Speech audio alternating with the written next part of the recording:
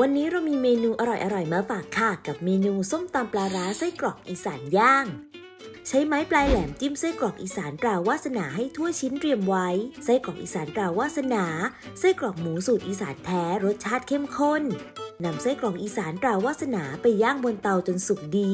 จากนั้นนำเชือกที่มัดออก และหั่นไส้กรอกอีสานตราวาสนาเป็นแว่น ใส่พริกขี้หนูและพริกขี้หนูแห้งลงในภาชนะตามพอแตก ใส่กระเทียมมะเขือเหลืองมะเขือส้มและถั่วฝักยาวตำให้เข้ากันแล้วใส่มะละกอ แครอทปรุงรสด้วยน้ำปลาร้า น้ำปลา น้ำตาลปี๊บและน้ำมะนาวเคล้าให้เข้ากัน จากนั้นวางไส้กรอกอีสานตราวาสนาที่ย่างเตรียมไว้ ลงในภาชนะ ตักส้มตำที่เตรียมไว้ลงด้านบน จัดรับประทานคู่กับข้าวเหนียวนึ่งสุกและผักสด พียงแค่นี้ก็พร้อมเสิร์ฟแล้วค่ะกับเมนู